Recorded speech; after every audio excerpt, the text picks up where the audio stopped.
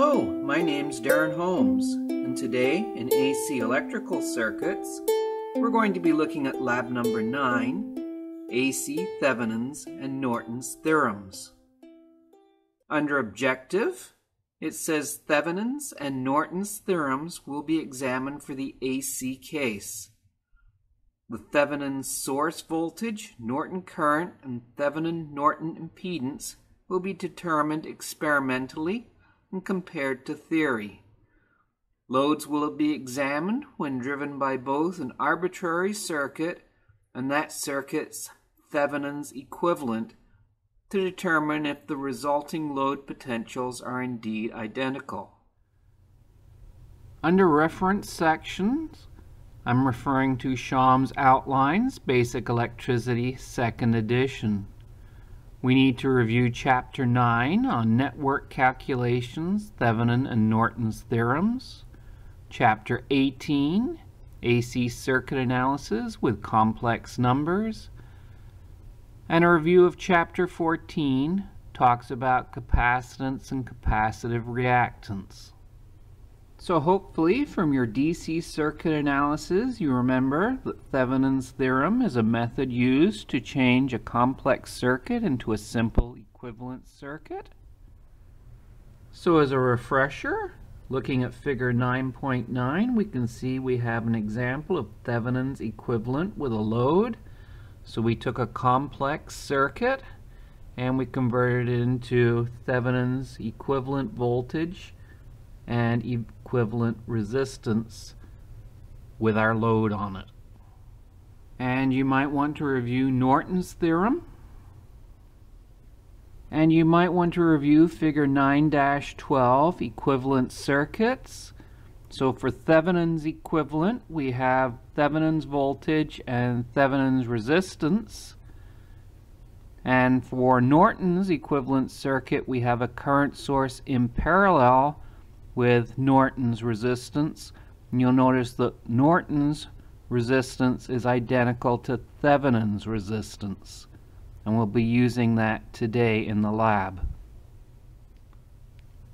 Hopefully, Chapter 18 is still fresh in your mind because we will be using AC circuit analysis with Norton and Thevenin today. And make sure that you have reviewed Chapter 14 on capacitance and capacitive reactance. And you may want to review the effect of R and XC in series, where VC makes an angle of minus 90 degrees to VR and I, which is the reference. So, theory overview. Please make sure you read through this several times so that you understand what is being said. Thevenin's theorem states that any linear two-terminal AC network can be replaced by a single voltage source with series impedance. For Norton's theorem, it is replaced by a single current source in parallel with an impedance.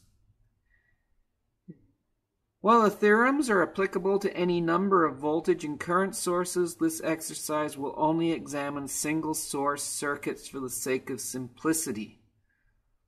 The Thevenin voltage is the open circuit output voltage, and the Norton current is the short circuit output current. The Thevenin and Norton impedance Z is found by replacing all sources with their internal impedance and then applying appropriate series parallel impedance simplification rules.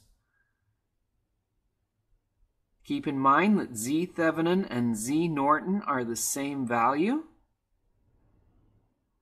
Now we don't have impedance meters in our labs at the moment, but if we did, we could use them to determine what the equivalent impedance is. And in this lab, we will find Z Thevenin by the formula Z Thevenin equals E Thevenin divided by I Norton, since we don't have an impedance meter available to us. So looking at our equipment, the AC function generator and the oscilloscope, we're going to be using the Keysight EDUX 1002G oscilloscope that has a built-in function generator. The DMM we're going to be using is the Mastech MSM 9803. As in previous labs, I haven't bothered going through and finding the serial numbers. They're usually on the back of the equipment and a little hard to find. Today's components, please make sure you measure your components to make sure you have the correct components and that they are within tolerance. So you can see I've given you a series of resistors that we're going to be using today and I've given you the color codes associated with them to make them easier to find in your parts kit. The capacitor is a 0.47 microfarad capacitor.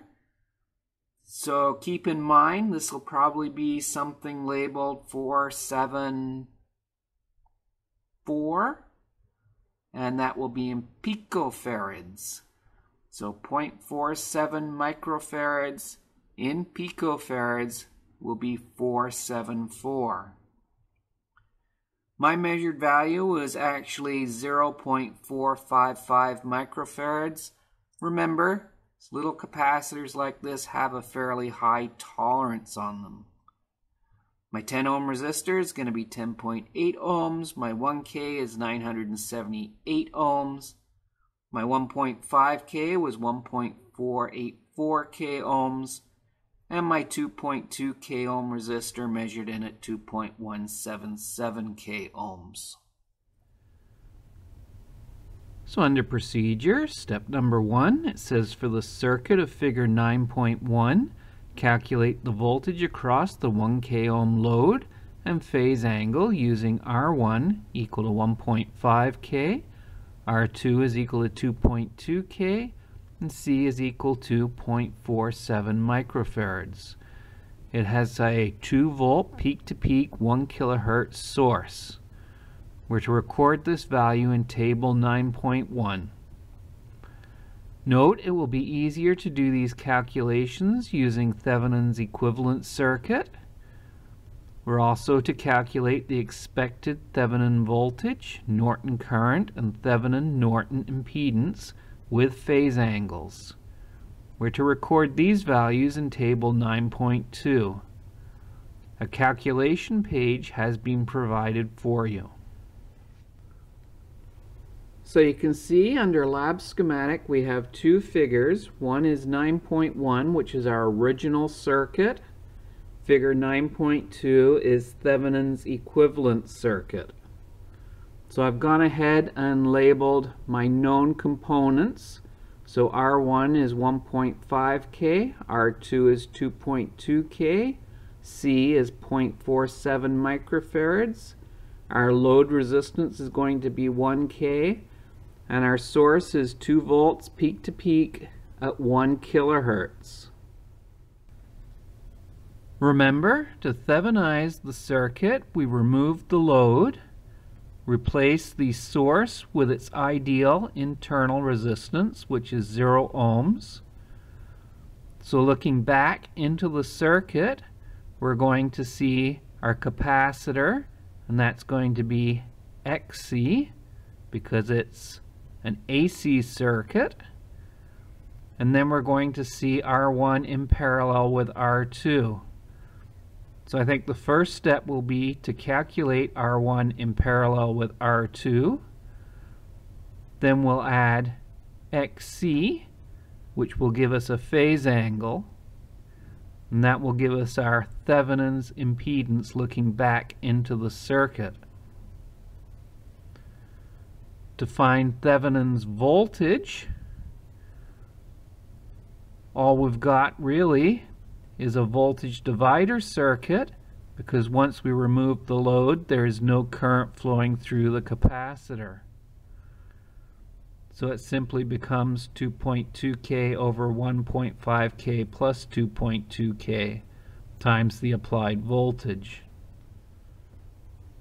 So I've given you a page to do your calculations on. The first section is labeled Thevenin And what we've got here is our load is 1K, C is 0.47 microfarads, R1 is 1.5K, R2 is 2.2K, and our Vin is 2 volts peak to peak at a frequency at 1 kilohertz. So the first part is to find out what R1 is in parallel with R2. So the formula I'm going to use is the products over the sum. So I take 1.5k times 2.2k over 1.5k plus 2.2k and that equals 891.892 ohms.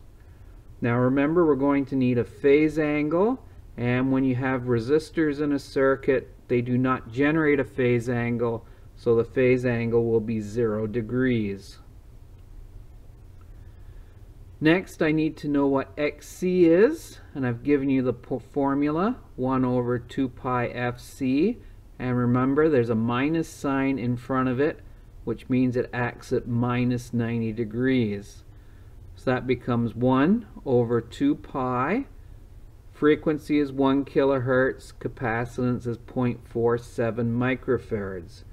So that works out to 338.628 ohms at an angle of minus 90 degrees. Now to find Z Thevenin, we're going to add R parallel to XC. Now I want to show you how to set up your calculator to do that right now. So to set up my calculator, the first thing I'm going to do is click on Setup. And I want to go to FSE, so that's 1. And I want engineering notation, so that's 2. I want to go back to Setup and I want to change the number of decimal places so I'm going to select 2 for tab and I like 3 decimal places. Next I'm going to go to mode and I'm going to use the down arrow key and select 3 for complex. You'll notice in the top left hand corner it says XY so now I press the second function and I press the 8 key and that puts it in polar form. You notice a little r theta in the top left hand corner. So this is my calculator set up to use today. So to calculate Z Thevenin, it's equal to R parallel plus XC. So that's equal to 891.892 ohms. Remember that's at an angle of 0 degrees plus XC, which is 338.628 ohms at an angle of minus 90 degrees. That's going to be equal to 954.013 at an angle of minus 20.79 degrees. So to type that in my calculator, I press 891.892. Now my angle key is below my DMS key. This is at 0 degrees, so when I press the angle key, it asks me for an angle, and I'm just going to type in 0. To that I need to add XC. So I press plus, and XC is 338.628. Now that's at an angle, so I press the angle key, and it's at an angle of 90, and it's minus 90, so I press the plus minus button and it puts a minus in front of it. Then I press the equal key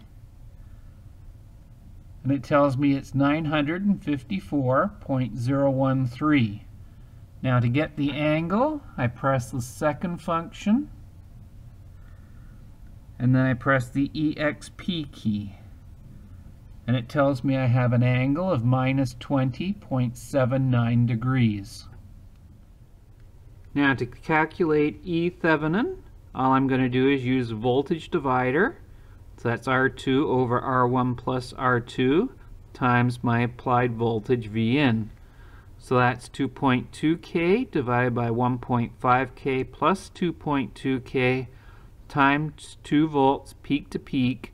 And all of these were at an angle of 0 degrees, so you can leave that off. And that equals 1.189 volts peak to peak at an angle of 0 degrees. Now to calculate Norton's current, it's basic Ohm's law, so it's going to be E Thevenin divided by Z Thevenin. So that becomes 1.189 volts peak to peak at 0 degrees that we calculated above divided by 954.013 at an angle of minus 20.79 degrees, which was also calculated above. And that will work out to 1.246 milliamps at an angle of plus 20.79 degrees. To calculate V load, all we do is use voltage divider. So we're going to take RL over RL plus Z Thevenin times E Thevenin. So calculating V load using the Thevenized circuit is a lot easier than trying to figure out on the original circuit. So the formula becomes 1K, and remember it's at an angle of 0 degrees, divided by 1K at an angle of 0 degrees, plus 954.013 at an angle of minus 20.79 degrees. We multiply this by Thevenin's voltage of 1.189 volts peak to peak at an angle of 0 degrees. And this will work out to 618.639 millivolts peak to peak at an angle of plus 10.148 degrees. So on table 9.1, for V-load theory, I've recorded the voltage as 618.639 millivolts peak to peak, and the phase angle is 10.148 degrees. So under table 9.2, for E Thevenin theory, Magnitude is 1.189 volts peak to peak, and the phase is 0 degrees. For I Norton, the magnitude is 1.246 milliamps peak to peak, and the phase is 20.79 degrees. For Z Thevenin, the magnitude is 954.013, and the phase is minus 20.79 degrees.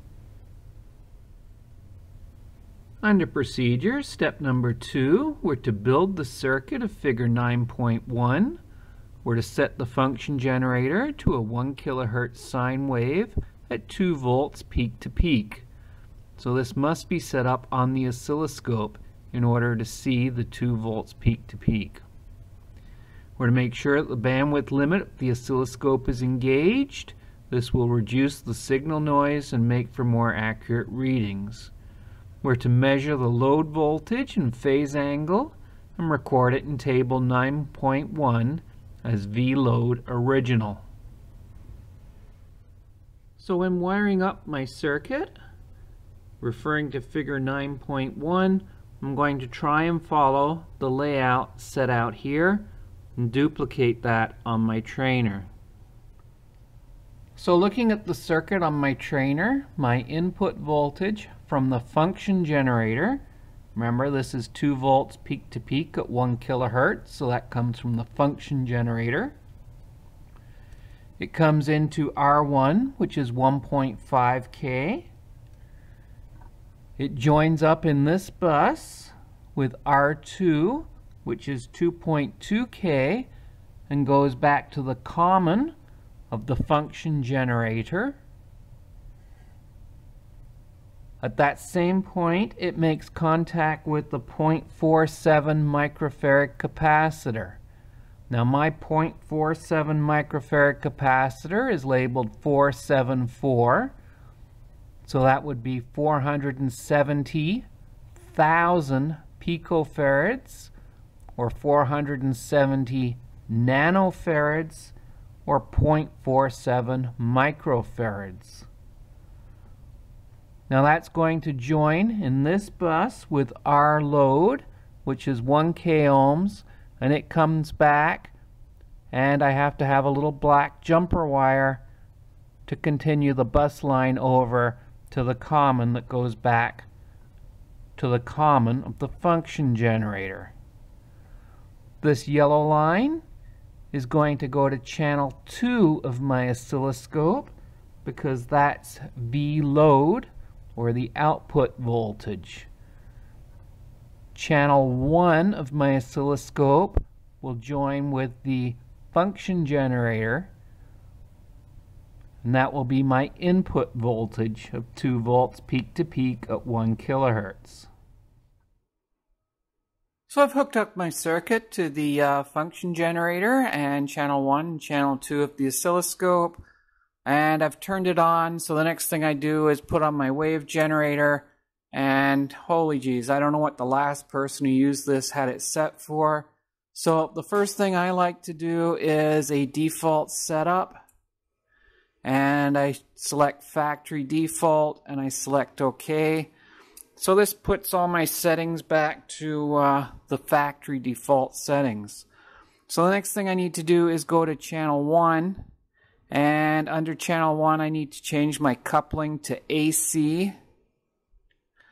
I'm going to put the bandwidth limit on just to keep the uh, signal clean. Under probe, I need a probe ratio of uh, 1 to 1. So I need to do the same thing for channel 2. Select its coupling as AC. Put the bandwidth limit on. And check the probe and make sure I adjust it to one to one. Next thing I like to do is check out my measurements. So it defaults to frequency for channel 1, peak to peak for channel 1. So I want peak to peak for channel 2, so I select source, channel 2. Under type, I need to select peak to peak voltage and add the measurement. So now you can see under measurements I have frequency for channel 1, peak to peak channel 1, and peak to peak for channel 2. Then I put on my wave generator and it defaults to sine wave and 1 kilohertz frequency. The amplitude is at 500 millivolts peak to peak and today we're using 2 volts peak to peak. So I need to adjust my amplitude until it says 2 volts peak to peak. The next thing I like to do is adjust the vertical scale. So for channel 1, I don't want channel 1 going off the top of my screen, but I don't want it so small I can barely see it. I do the same thing for channel 2, but I don't want channel 2 to be bigger than channel 1. It's an output signal. I expect it to be smaller. I want to see it smaller. Next thing I adjust is my horizontal scale. I like to see two complete cycles on the screen. So you can see when I've got it at 200 microseconds, I can see two cycles, but that's I can't quite tell if it goes off the edge of the screen or not. So on the horizontal control, just press it in to select fine, and then adjust it from uh, 200 microseconds to uh, 250 microseconds. So you can see one complete cycle of the waveform goes through one, two, three, four whole divisions. So it's four divisions per cycle. I can see two complete cycles on my screen. I see they don't go off the edge, so it is a precise uh, view of two cycles. And the peak of my sine wave are identical. Uh, this is important because sometimes you can look at some ringing off of a square wave and think it's a sine wave. So I can see all my uh, waveforms are set up correctly. Uh, frequency for channel 1, 1 kilohertz. Peak to peak for channel 1, approximately 2 volts peak to peak. Peak to peak for channel 2 is 640 millivolts. Now the next thing I need to do is do a phase measurement for this waveform and the way to do that is with the cursors. So right now I have a source of channel 2, so I'm going to make the source channel 1. And my cursor is X1. So using the adjustment knob beside cursors, I'm going to move channel 1 over until it's going through the green waveform. And remember, the green waveform is V out. So I press the knob in, select X2, Move X2's cursor in till it gets to the yellow waveform, which is my input voltage. And it's kind of hard to tell. It says 35 microseconds there, but I like it to be a little more precise. So I'm going to show you how I do that now. So what I'm going to do is adjust my horizontal scale to kind of open up the uh, waveform a little more so there's more space between those zero crossing lines. Next thing I'm going to do is adjust my vertical scale to try and get the lines going perpendicular to the zero crossing line. Now I'm going to uh, readjust my cursors. So I want X1 for the green line. And the green line is channel 2. And channel 2 is my output voltage.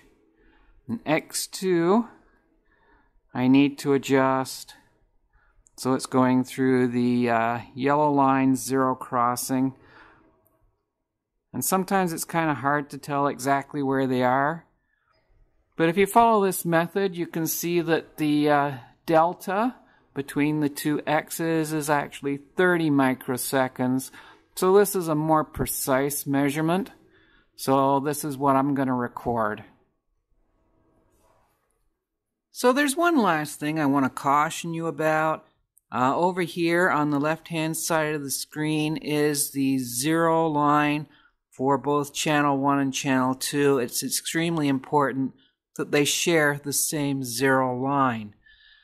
I'm going to adjust channel 2's position and you can see I'm rotating the knob clockwise and I'm moving the zero crossing for channel 2 upwards. So if you're trying to measure the phase delay between two signals, you can see if one of them has a zero crossing above the other, it's actually going to make the phase delay bigger. So it's extremely important they're both on the zero crossing line. So just press the uh, position adjustment knob in and it will zero both of your traces for you. So now you can see both channel 1 and channel 2 share the same zero crossing. So this will give me my phase measurement between the two waveforms. And in this case, so in this case, you can see channel 2 comes before the input voltage, which is on channel 1. So channel 2 is actually leading the input voltage. So on table 9.1, for VLOAD original, I've recorded the voltage as 640 millivolts peak to peak. The phase angle was plus 30 microseconds. So we have to remember the formula. The period is equal to 1 over the frequency. So that's equal to 1 millisecond. And the phase angle is equal to the change in time, or delta t, over the period times 360. So if you take 30 microseconds and divide it by 1 millisecond, multiply it by 360, you come up with 10.8 degrees.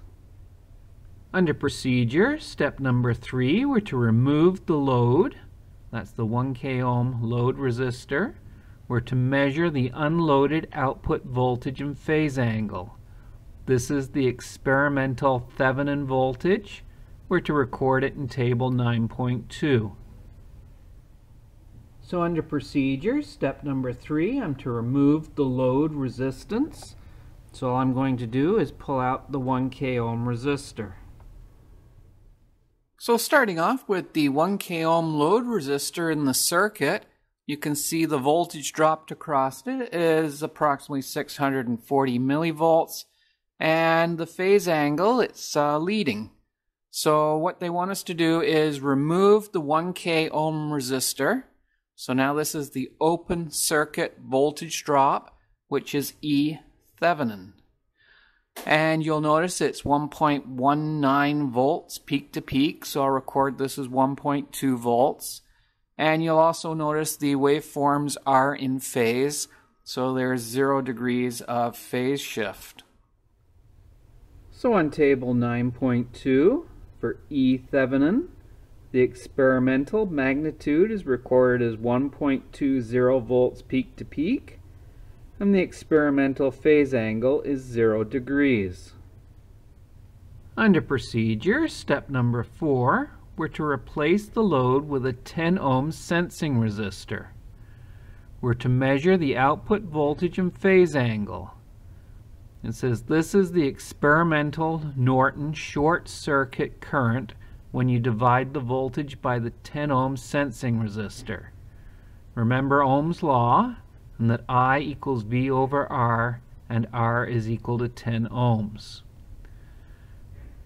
It says dividing the Thevenin voltage by the Norton current gives you the Thevenin-Norton impedance Z Thevenin.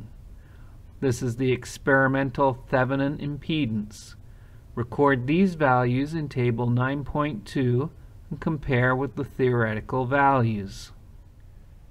I've now replaced my load resistor with a 10 ohm resistor to create a short in my circuit so I can measure I Norton. So all I'm going to do is take the voltage drop across the 10 ohm resistor, divide it by the 10 ohms, and that will give me I Norton. So I've now replaced the uh, 1k ohm load resistor with a 10 ohm sensing resistor and this represents a short circuit across my output. So this will give me I Norton. So you can see I'm reading about 13.4 uh, millivolts. So when I divide that by the 10 ohm sensing resistor, that should give me about 1.34 milliamps peak to peak. Now you can see there's a phase angle and it is leading, so I need to measure that next. So to find the uh, phase angle, I'm going to increase the sensitivity for channel 2 to 1 millivolt per division. And channel 1 is at 20 millivolts per division. And my horizontal scale is set to 20 microseconds. And I put on my cursors and the delta T is 62 microseconds. And please notice it's 62 microseconds leading. In table 9.2, for I Norton, experimental, the magnitude was 13.4 millivolts. Remember to divide it by the 10 ohm sensing resistor, and that works out to 1.34 milliamps. For the phase angle, delta t was 62 microseconds. And when you divide that by 1 millisecond times 360, that works out to 22.3 degrees.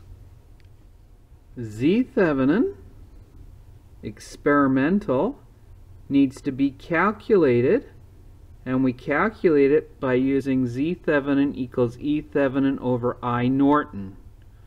So this is 1.2 volts at 0 degrees divided by 1.34 milliamps at an angle of 22.3 degrees and that works out to 895.5 ohms and it's at an angle of minus 22.3 degrees. The percent deviation for both voltage and phase angle I'm going to leave you to calculate. Under procedures, step number five, it says to build the Thevenin equivalent circuit of figure 9.2, you need to create Z Thevenin. To make this lab as simple as possible, we will assume C Thevenin will stay as originally specified as 0.47 microfarads. Then you only need to calculate R Thevenin, having already calculated Z Thevenin and knowing C Thevenin. You will find space to do this calculation on the provided calculation page. So to calculate R Thevenin, we're going to leave C Thevenin as 0.47 microfarads. So R Thevenin is equal to Z Thevenin minus XC. So that's going to be 954.013 at an angle of minus 20.79 degrees minus XC, which is 338.628 at an angle of minus 90 degrees. So that works out to 891.895 at an angle of 0 degrees. Now I want to show you this on the calculator so on my calculator, what I'm going to do is press setup, press 1 for FSE, and I want it to be fixed. So I'm going to press 0 for fixed. Okay, so I'm going to type in my 954.013 and it's going to be at an angle of 20.79 and press the plus minus button. And from that I want to subtract XC, so I press minus 338.628 and it's going to be at an angle of 90 degrees minus. So that equals 891.895 and when I press second function exp it gives me an angle of 0 degrees. Now if I go back to setup and change my FSE to engineering notation You'll notice my angle is 449.77 microdegrees. It's times 10 to the power of minus 6. And this is close enough to 0. So that's why I pressed Setup, FSE, 0 for fixed. And you can see it rounds it up to 0 degrees for you. Under Procedures, step number six, it says using the Thevenin resistance and capacitance, build the Thevenin equivalent circuit of figure 9.2. And we're to apply the 1 k ohm load resistor. We're to measure the load voltage and phase angle and record it in table 9.1. We're to compare the values of the original non-Thevenized circuit and determine the deviation between the original and Thevenized circuits. So referring back to figure 9.2, my E Thevenin is going to be 1.189 volts peak to peak. The angle is 0 degrees and it's at 1 kilohertz. My load resistor is the 1K, so I've drawn that in. My C Thevenin is still the 0.47 microfarad capacitor. So it's still labeled 474. R Thevenin is 892 ohms and I'm going to use a 5k ohm potentiometer so that's going to be labeled 502. One leg goes to my power supply. The center leg goes to the capacitor, and the third leg is not used. So I just want to give you a good close-up of my circuit. You can see the red line I'm going to connect to my uh, ohm meter. The black line goes to the common of my ohm meter. So I can measure the resistance across the two leads. The capacitor is connected to the center pin, which right now has the black lead going to the common of the ohm meter. The capacitor is connected to my load resistor and the output sensing wire that goes to channel 2 of the oscilloscope. The bottom of my 1k ohm load resistor goes to this black wire that will go back to the common of the function generator but for right now all I'm going to do is measure the resistance and adjust my potentiometer.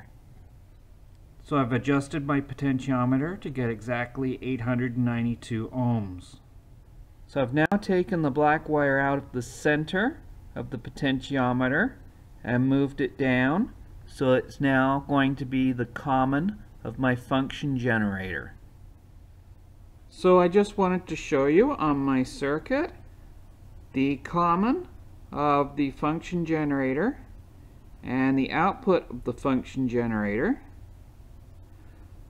the common of channel 1 and channel 2, so all the black leads go together, and they join at the bottom of my 1k ohm load resistor.